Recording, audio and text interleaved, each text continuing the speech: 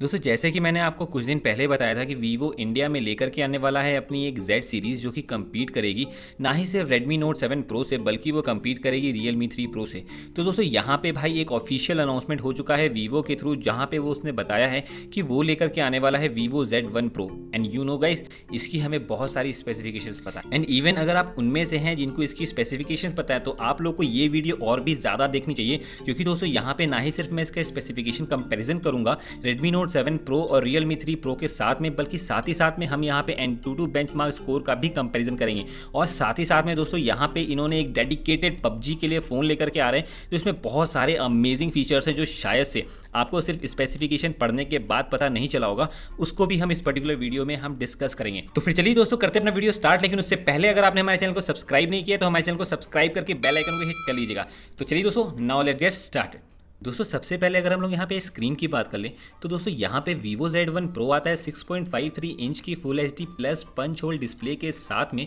जो कि यूज़र को बहुत ही ज़्यादा इमर्सिव एक्सपीरियंस देगी। और साथ ही साथ में Redmi Note 7 Pro और Realme 3 Pro आते हैं थोड़ी सी छोटी स्क्रीन के साथ में। जी हाँ दोस्तों, वो आते हैं सिक्स इंच की फुल एचडी डिस्प्ले के साथ में। बस दोनों की स्क्रीन में डिफरेंस ये है कि रेडमी नोट सेवन प्रो आता है वाटर ड्रॉप नॉच के साथ में और Realme 3 Pro आता है ड्यू ड्रॉप नॉच के साथ में। तो अगर हम ओवरऑल एक्सपीरियंस की बात कर तो यहाँ पे मुझे लगता है कि Vivo Z1 Pro ज़्यादा बेहतर एक्सपीरियंस देगा यूज़र्स को। और अगर हम इसके बाद बॉडी पे आ जाए तो दोस्तों यहाँ पे वीवो जेड वन प्रो और रियल मी थ्री प्रो दोनों में ही पॉलीकार्बोनेट की बॉडी देखने को मिल जाएगी with glossy back just to remind you guys कि यहाँ पे जो प्लास्टिक बॉडी होती है ना, उसके अंदर स्क्रैचेस ज़्यादा लगने के चांसेस होते हैं। और वहीं अगर आप देखेंगे रेडमी नोट सेवन प्रो में तो भाई उसके अंदर उन्होंने दिया हुआ है glass body with Corning Gorilla glass five protection so in the terms of body I would say that Redmi note seven pro has a better body लेकिन दोस्तों यहाँ पे जैसे ही आप इसके कैमरा एंगल की तरफ़ मुड़ेंगे ना तो you would find a very great difference between Vivo Z one pro and the rest of the devices क्योंकि यहाँ पे अगर हम फ्रंट सेल्फी कैमरा की बात कर ले तो इन्होंने यूज़ किया है 32 मेगापिक्सल का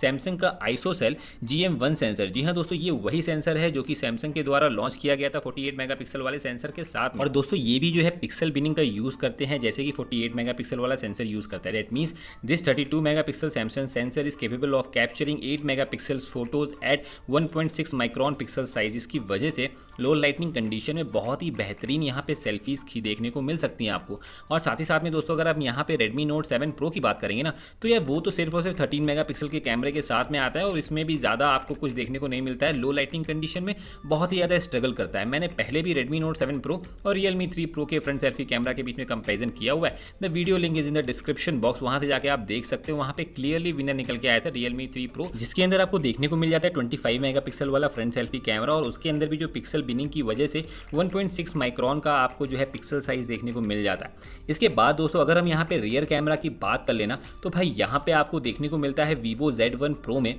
16 megapixel plus 8 megapixel plus 2 megapixel का ट्रिपल रियर कैमरा जो कि काफ़ी ज़्यादा बढ़िया है दोस्तों। और यहाँ पे रेडमी नोट सेवन प्रो में 48 मेगापिक्सल और 5 मेगापिक्सल का केवल डुअल रियर कैमरा देखने को मिलता है, जिसमें कि 48 मेगापिक्सल प्राइमरी कैमरा है 5 मेगापिक्सल वाला जो कैमरा है, वो है इनका डेप सेंसिंग कैमरा और ऐसा ही सेम कैमरा सेटअप देखने को मिल जाता है रियलमी थ्री प्रो में, जिसके अंदर उनका प्राइमरी कैमरा है 16 मेगापिक्सल का और यहाँ पे डेप सेंसिंग कैमरा है 5 मेगापिक्सल का। लेकिन दोस्तों यहाँ पे Vivo Z1 Pro में थोड़ा सा डिफरेंट देखने को मिलता है, क्योंकि दोस्तों यहाँ पे जो है 16 मेगापिक्सल का जो इनका कैमरा है, वो तो इनका प्राइमरी कैमरा है, लेकिन जो 8 मेगापिक्सल वाला कैमरा है, वो है इनका वाइड एंगल कैमरा और जो 2 मेगापिक्सल का कैमरा है ना, वो है इनका डेप सेंसिंग कैमरा दोस्तों। इसके बाद दोस्तों अगर हम यहाँ पे परफॉर्मेंस में आ जाए ना तो यहाँ पे आपको देखने को मिलने वाला है कुछ बड़ा बड़ा डिफरेंस क्योंकि दोस्तों यहाँ पे Vivo Z1 Pro में इन्होंने फ़र्स्ट टाइम यूज़ किया है स्नैपड्रैगन 712 का प्रोसेसर जो कि बहुत ही ज़्यादा बढ़िया है दोस्तों, क्योंकि ये है टेन नैनोमीटर के फिनफिट आर्किटेक्चर पे बना हुआ और साथ ही साथ में दोस्तों यहाँ पे इन्होंने यूज़ किया हुआ है दो कॉटेक्स ए फाइव के कोर्स जो कि क्लॉकड हैं 2.3 पॉइंट पे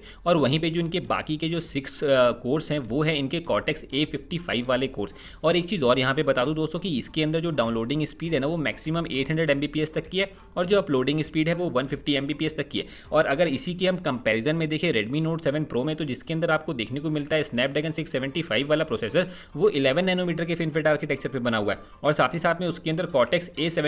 वाला कोर तो यूज़ हुआ है, लेकिन वो टू पॉइंट ज़ीरो पे क्लॉकड है। और यहाँ पे जो इनका सेकेंडरी कोर है ना, जो कि ना नॉर्मली ज़्यादातर यूज़ में आता है, वो है छः कोर और वो है कॉटेक्स ए वाले कोर जो कि सेम कोर्स हैं, जो कि आपके स्नैपड्रैगन सेवन या फिर स्नैपड्रैगन सेवन में यूज़ हुए हैं, जो कि क्लॉकड है वन पॉइंट सेवन गीगाहर्ट्ज़ पे। लेकिन दोस्तों, यहाँ पे एक और डिफरेंस है, जो कि देखने को मिलता है, वो ये है कि इसके अंदर मैक्सिमम डाउनलोडिंग स्पीड जो है ना, वो है सिक्स हंड्रेड एमबीपीएस की। और जो अपलोडिंग स्पीड है, वो है वन फिफ्टी एमबीपीएस की। इसके बाद अगर स्नैपड्रैगन सेवन एंड टेन जो कि रियल मी थ्री प्रो में यूज़ हुआ है, उसकी बात कर लें तो उसके अंदर कॉटेक्स से सेवेंटी फाइव वाले कोर देखने को मिल जाते हैं। दो जो कि क्लॉकड है two point two giga hertz पे, और साथ ही साथ में जो छः कोर है ना, वो है कॉटेक्स ए फिफ्टी फाइव के, जो कि क्लॉकड है one point seven giga hertz के। और इसके अंदर भी downloading speed at hundred M B P S है, और यहाँ पे uploading speed one fifty M B P S है। तो आपको ये तो पता चल गया होगा कि यहाँ पे ज़्यादा जो है बेहतर डाउनलोडिंग स्पीड आपको देखने को मिलेगी सेवन हंड्रेड सीरीज़ के प्रोसेसर में। लेकिन दोस्तों, यहाँ पे जीपीयू में भी आपको काफ़ी कुछ अंतर देखने को मिल सकता है। यहाँ पे जो स्नैपड्रैगन सेवन हंड्रेड ट्वेल्व और स्नैपड्रैगन सेवन हंड्रेड टेन आते हैं ना, वो दोनों के दोनों Adreno six hundred sixteen GPU के साथ में आते हैं।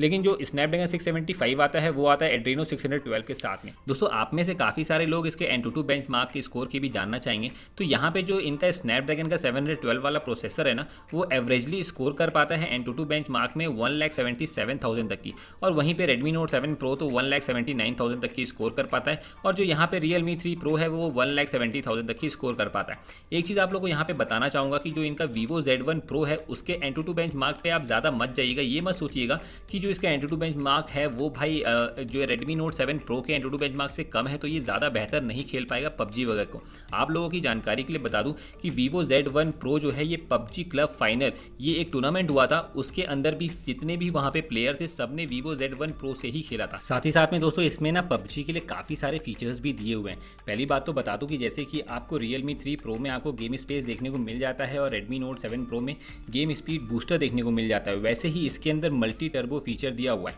इसके अंदर आपको जो है फोर जो है वाइब्रेशन का सपोर्ट मिल जाता है। साथ ही साथ में थ्री साउंड का भी सपोर्ट मिल जाता है। और एक बहुत ही ज़्यादा इंटरेस्टिंग बात मुझे पता चली है कि इसके अंदर आप पबजी खेलते वक्त अपनी वॉइस को भी आप मॉड्यूलेट या चेंज कर सकते हैं, जो कि काफ़ी ज़्यादा फनी और मज़ेदार होगा। तो बेसिकली इस फ़ोन को काफ़ी हद तक की पबजी को भी देख करके बनाया गया तो अगर शॉर्ट में बोले दोस्तों तो इसके अंदर काफ़ी बढ़िया आपको गेमिंग एक्सपीरियंस देखने को मिल जाएगा। और इसके बाद दोस्तों, अगर भाई ये गेमिंग के लिए इतना ज़्यादा हाइप करे तो भाई बैटरी तो बढ़िया देनी थी। इसके अंदर आपको देखने को मिल जाती है बहुत ही बिग फाइव थाउज़ेंड की बैटरी और साथ ही साथ में आपको एटीन वोट का fast charger in the box मिल जाता है। और वहीं पर अगर आप यहाँ पे रेडमी नोट सेवन प्रो और रियल मी थ्री प्रो की बात करेंगे तो रेडमी नोट सेवन प्रो के अंदर आपको फोर थाउज़ेंड की बैटरी मिल जाती है। इसके अंदर आपको क्विक चार्ज फोर का तो सपोर्ट मिल जाता है, लेकिन आपको इन द बॉक्स केवल और केवल टेन वोट का चार्जर ही मिलता है। और वहीं आप रियल मी थ्री प्रो की बात करेंगे तो उसके अंदर एक अच्छी बात यह है कि उसके अंदर आपको वूक चार्ज थ्री देखने को मिल जाता है, जो कि काफ़ी तेज़ी से फ़ोन को चार्ज कर देता है as compare to other smartphone और इसमें भी आपको four thousand forty five M H की बैटरी देखने को मिल जाती है ये सब तो दोस्तों ठीक है, लेकिन दोस्तों ये स्मार्टफ़ोन एक बढ़िया स्मार्टफ़ोन तब तक नहीं होगा जब तक कि ये बहुत ही बढ़िया प्राइस के साथ में नहीं आता है तो आई होप कि जैसे रेडमी नोट सेवन प्रो और Realme three pro fourteen thousand के आसपास में आते हैं तो अगर ये वाला स्मार्टफ़ोन भी इसी प्राइस में अगर आता है तो this is going to kill the Redmi Note 7 Pro and the Realme 3 Pro for sure. So दोस्तों that was all from the Geeky Monk for this particular video. I hope you like this video. Please do share this video amongst your friends. So दोस्तों that was all from the Geeky Monk. Thank you.